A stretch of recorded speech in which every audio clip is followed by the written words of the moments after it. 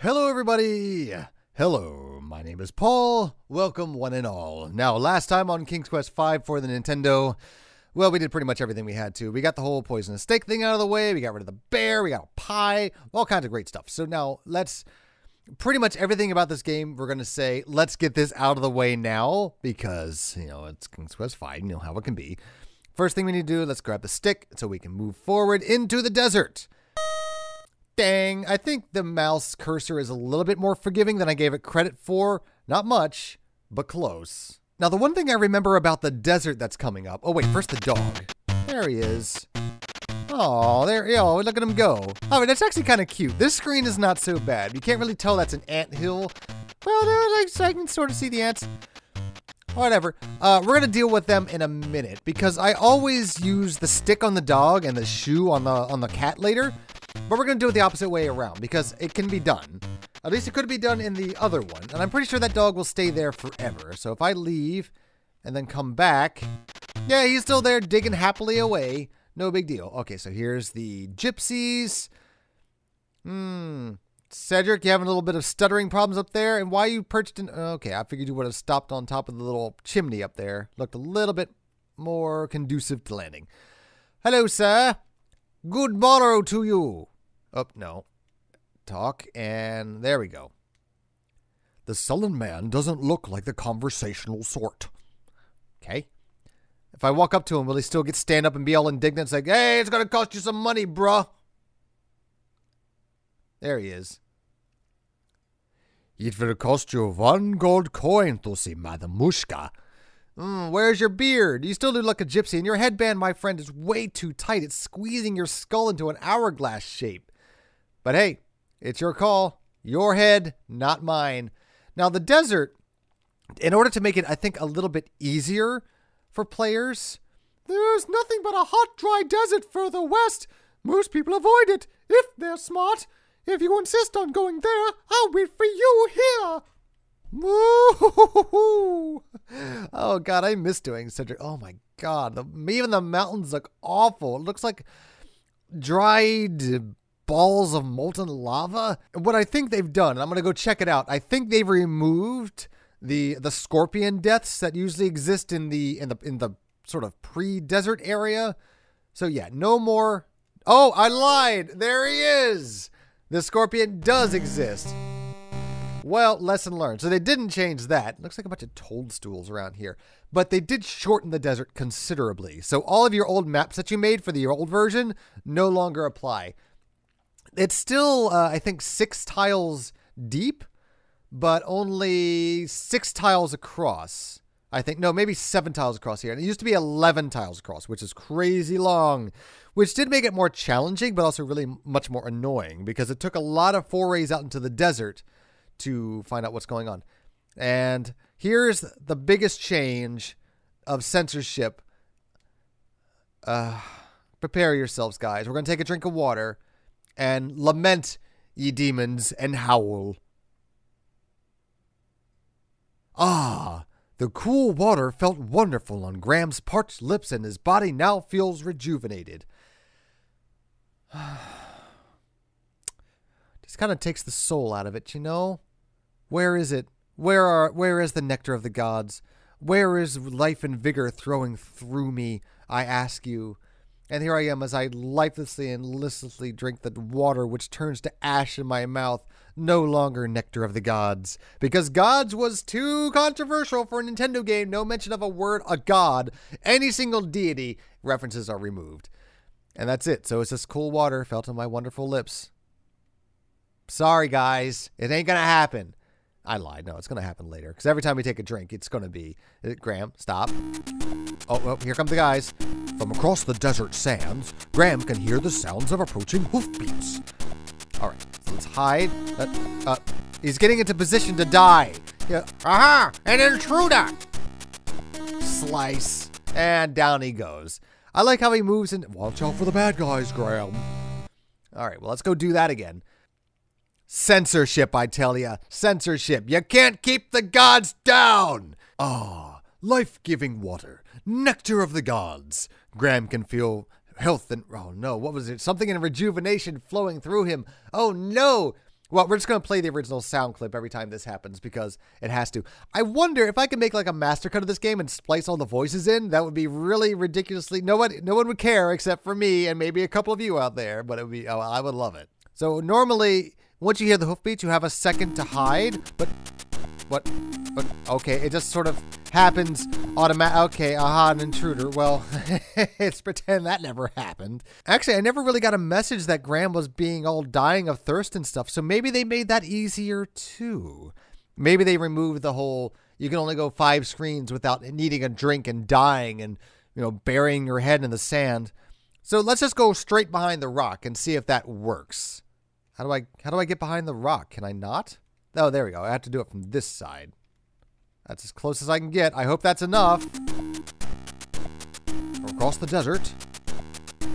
Yeah, okay, good. That's fine. And his yellow face blends into the yellow highlights. Open sesame. Thank you. Oh, Lord, somebody left the somebody left the meatloaf out. Clink. And off he goes. All right, so that's what we needed to see. So we saw that the uh, it does exist. Now I'm gonna save here also just to see if, uh, yeah, just to see if I do die of thirst. Actually, I know there are still oases, but aha, there it is. The hot sun and choking sands are taking their toll on Graham. He must find a drink, and soon. There is an oasis, I think, two or three screens down from here. So let's see if I can make it there without dying.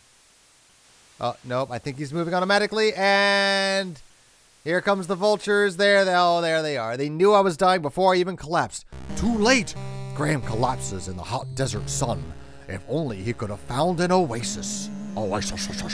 I am not an oasis. All right, so that means we can go. Let's see. So we became one, two, three, four, five, six, seven. We can go eight screens before we die. So seven screens we can traverse safely, or screens if you're playing Quest for Glory 2, which we're not. We're playing Quest for Glory 5, even though we are sort of in a desert environment. I can see why you'd make that mistake. So here's an Oasis, but doesn't play the Oasis music. Oh, yes, it does. Listen to that.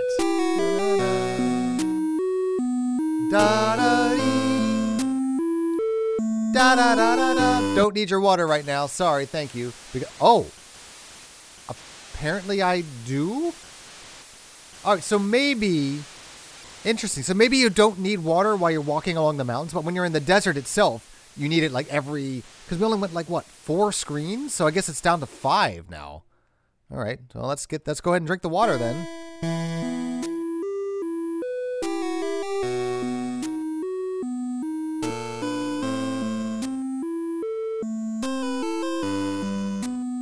Ah, life-giving water, nectar of the gods. Graham can now feel strength and renewal flowing through him. Isn't that much better? Isn't that much better? I, I love it. Love it. Okay. Thank you, modern technology and editing techniques. And then the the camp should be here. There it is. You all right, sir? Uh, oh, okay. Down he goes. These look like ladders to me. They look like rope ladders. All right. So let's I don't think I need to, but I'm going to take his water anyway just because... No, no. I'll do it on the way out. Stop. Stop. There we go. Okay. In we go. Let's get that staff. Wow, this is a techno beat on this.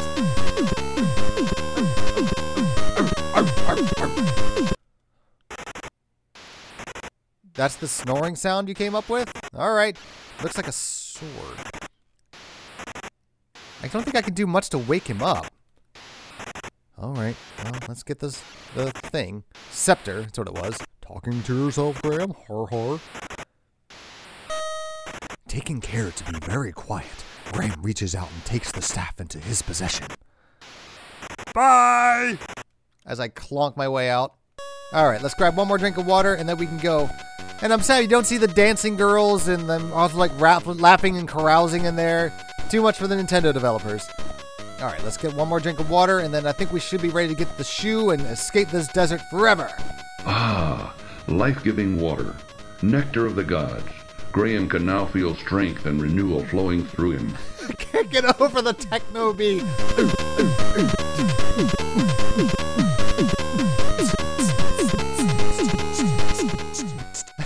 That's so wonderful.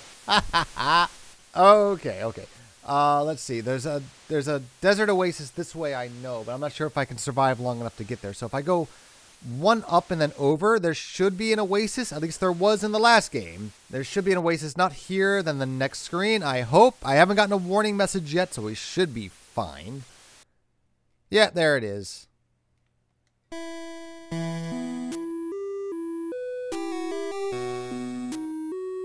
Ah, life giving water, nectar of the gods. Graham can now feel strength and renewal flowing through him. There we go. Okay. And now the the uh, boot. There it is. Das Boot is das hier. Dang. That's it. Didn't even tell if it was a boot. I guess we had to look at it first, but it is indeed a boot. You have to take my word on this. And there should be one up here. Yeah, I mean, we should be close enough to being rescued now, or out of the desert rather, but we only have one more chance to hear this. Ah, life giving water, nectar of the gods. Graham can now feel strength and renewal flowing through him. Beautiful, beautiful. Well, goodbye, Mr. Narrator. Goodbye. Well, there you are. You made it. I was really worried about you. You were right, Cedric. The desert is a place to avoid, but I made it. I'm fine. Mm, no, they made Graham so much less more confident than he was before. And what's up with his little Chico Marx hat, by the way, with a cigarette sticking out of it? A lit cigarette, might I add. Nintendo, why didn't you censor that? Hmm? All right, well, we got the stick and the boot, so we have everything we need to progress through the dog scenario and get the ants on our side. Where the ants sent by King Antony. Oh, okay, it's not that far yet. I wonder if we do get the song. We've got to. It's got to. All right, so let's get the stick. No, no, we're gonna use the boot this time because I always use the stick on the dog. Can I open it? There we go. That is so a cake. It looks like the Minecraft cake. Uh, honeycomb stick, uh, shepherd's staff. Oh wait, no, duh. We forgot. I forgot to open up the the temple. I'm an idiot. Oh well, well the boot it is, cracked and dry from the desert sun. It's mine, all mine. What? What? Wait, what? I can't use the boot on it. It's supposed to be interchangeable. So is it only the stick now? How weird. Okay.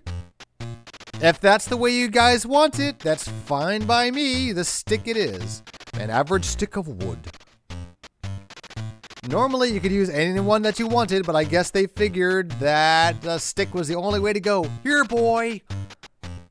Eventually, blah, blah, blah, blah, blah, blah. nice arc on that, by the way. Bye, doggy.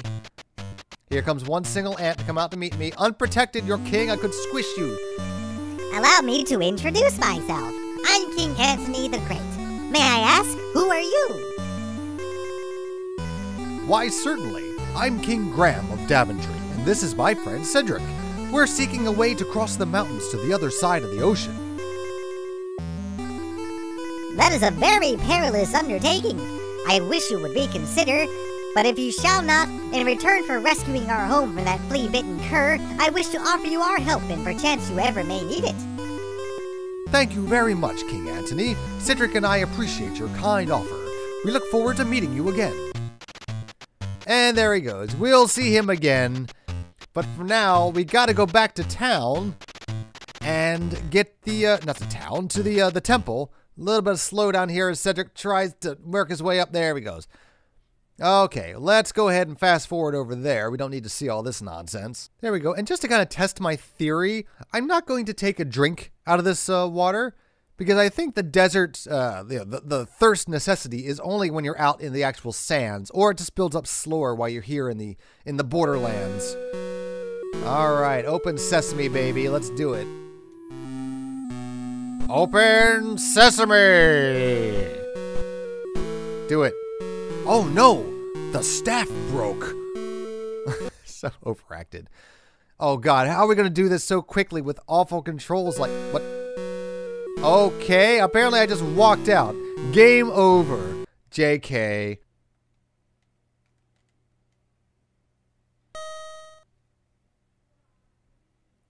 There we go, and the gold coin, and out we go before we're sealed in forever. Ooh, that was close.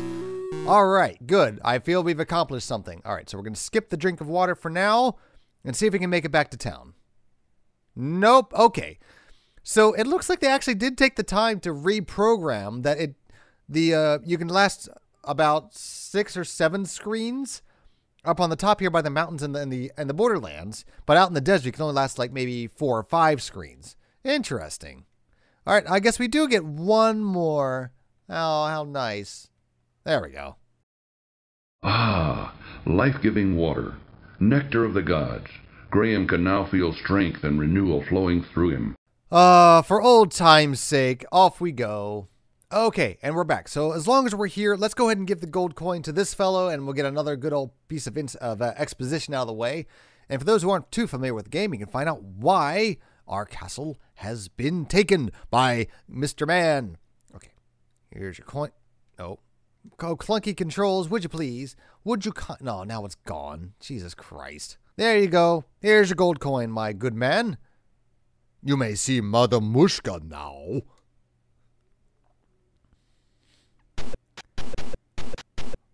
Again with a techno soundtrack. What is this? What is? Oh, this is original.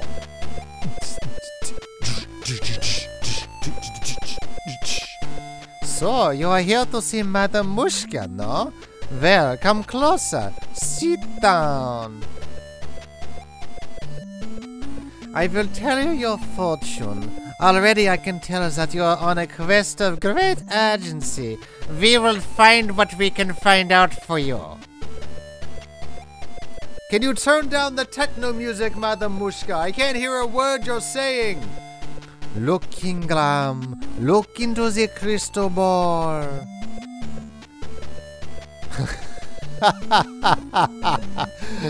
Look, Manannan, look what I have for you. Oh, look at Lo. He looks so cute playing with his dolls. Take a good look at what you did to my brother, Alexander, because he's doomed to spend the rest of his days as a cat, and there's nothing I can do about it. But you can do something about it. Since you're the one who did this to him, you're the only one who can turn him back again, back into the wizard Manannan. Meow, meow, meow. Alexander! Uh, that looks like the tailor. Uh, oh, no, that's Alexander. I don't know how, Mordack. I'm not a wizard. I just happened to stumble across some magic spells and accidentally turned him into a cat. I didn't mean it. Please believe me, Mordack. I don't know how to turn him back into a wizard. You lying sack of shit. You're holding out on me, little man. You're taking advantage of my good nature, but not for long. If I don't get a change of tune from you soon, I'll feed your family to the cat, starting with your dear mother. Remember what I said. I'll only give you a little more time to decide your before your family becomes cat food. The cat and him are like the same size. I think there's a scale issue happening here. That is all. But I see that your mission is indeed dangerous. I will give you something to help you. I love how they say something. Here, take this. It is a magic amulet. It will help protect you against any bad magic. Good luck, King Graham, and be careful that Mordack is a bad one. Well, bye, I guess. And Cedric has to fly up there all over again because that's how it was programmed. And then I believe if I just leave and come back, no, they're still there. Okay, so maybe I got to do the forest event first, and then I know, I know it will cost you one gold coin to say Madame Mushka, so quite alright. Do I do the Bugaloo in this version? Watch out for those ants, Graham! No, Bug, what? Oh, you just bounce off of them? Lame. You added the bear dragging me off to its lair to eat me later, and not, oh well, whatever. Alright, so here's uh, Rumpelstiltskin and his little marionette little boy. Oh yeah, we can see the emo tree. There, there she is. Oh lordy, you look. Oh, what happened to you? Ugh, God, she looks terrible. See, this looks more like a curse than her last one does, but she definitely looks forlorn. Uh, Miss Willow? Yes. You can talk? Why, of course I can. What did you expect? Well, I've never seen a talking tree before. What's wrong? Everything's wrong. Can't you tell? I'm not really a tree. I'm really a princess. Ah, you see, my fiance and I were walking through these woods when a nasty old witch came along and was instantly charmed by my handsome prince. When he naturally refused her advances, she jealously banished him to a faraway land and turned me into a tree, and then she stole my heart. Stole your heart? Yes, she turned my heart to gold and took it with her. The only way I can become human again is to have my heart put back in this hole here. Now all I have to cheer me up is my harp. It's quite magical, you know. It plays the sweetest music you've ever heard. Now please, leave me alone in my sorrow. And I guess by the hole here, I guess that means we have to shove it into her mouth. We haven't met her prince yet. Let's go see if we can go find Princey before we rescue her. There he is. How you doing? Oh, where's the little splashing bluebird? Oh, lame. I guess they couldn't all make it in. How you doing, my good friend? Excuse me, young man. Sorry to bother you, but I couldn't help but notice you sitting there on that log. I was wondering if there was anything wrong. Why, yes, all the men in this game look exactly the same. As a matter of fact, there is. I've been searching everywhere for my fiancée. Spelled correctly this time. She's a beautiful princess with long golden tresses, fetching blue eyes, and smooth, creamy skin. I put the lotion on it every day before she escaped the pit. Have you seen her anywhere about? No, sorry. I haven't seen anyone like that. Especially not that tree who said she lost someone just like you and used to be a princess. That's what I figured. No one has seen her. I think the old witch who lives in the dark forest had something to do with her disappearance. Well, I'll keep an eye out for her. If you if I see her, I'll let you know you're looking for her or something like that. I would appreciate that. Well, I guess I get better get back to looking for her. I'm not ever going to find her just sitting around here. Thanks for your concern. Well, goodbye. You're heading in the wrong direction, by the way. She's a tree and she's over this way. I could have told you that, but whatever. All right, well, enjoy your search, your long, fruitless search. No, you're not getting me to say it again, Graham. Screw you. Or got Graham. Cedric is your name. Wow, it's been too long since I played King's Quest V. All right. Well, I guess uh, we can take care of the the forest. I believe we have everything we need because all we need was the the bo- the genie bottle and the amulet, which I should probably put on now. Can I use it? Can I use it on myself or is it automatic? Did they simplify that too? There we go. The magic amulet begins to glow softly as Graham slips it over his head and then carefully tucks it into the amulet to the front of his tunic, hiding it from sight. Oh, I miss the narrator so much. Well, that'll do for now. So the the oh the god, the forest is probably going to be its own part by itself because with these frustrating controls, navigating is going to be a bear. But we already took care of the bear. Ha ha ha. And anyway, so we'll take care of that next. So as always, my friends, good night, jelly beans.